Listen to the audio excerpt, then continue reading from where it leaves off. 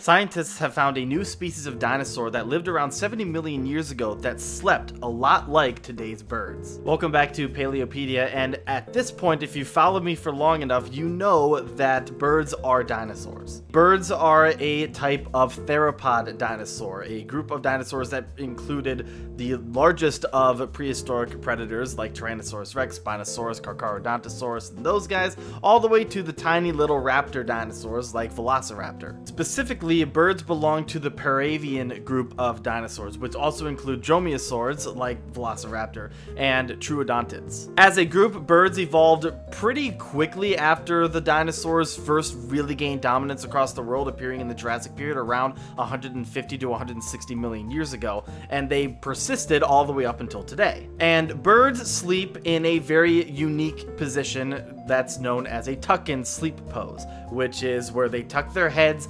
between either their feathers on their back or underneath their wing with their legs uh, folded up underneath them. Alongside birds, we also have unique fossils of troodontids that also have this similar pose with their tail wrapped around their bodies, their head tucked back under their arm, and they're curled up very similarly to birds. Now, this isn't to say that we have a lot of specimens of dinosaurs outside of birds that are in this sleeping position. We only have a couple specimens from a couple species of troodontids, specifically Mei Long and Sinornithoides. But we can also use this to assume that it's likely that the dromaeosaurs, like Velociraptor, probably slept in a similar manner because they are very closely related to both the troodontids and the modern birds. Now, the reason why this sleeping pose is very rare is because the animal has to be sleeping when it's buried or killed. And most animals are not really killed while they're sleeping. And when it comes to theropods fossilizing,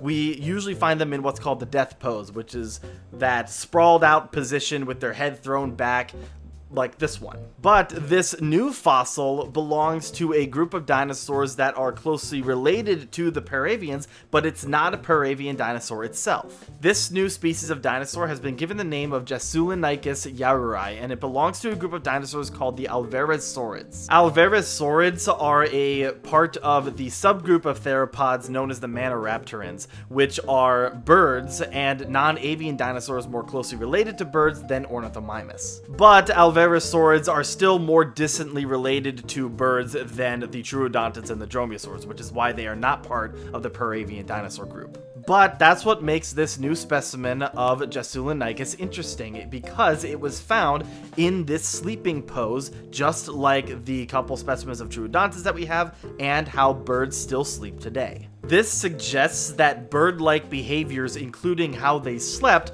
was a lot more widespread among dinosaurs than we previously thought, and that it appeared earlier in the fossil record than we originally thought it did. It's also just another piece of concrete evidence that shows that birds are, in fact, dinosaurs.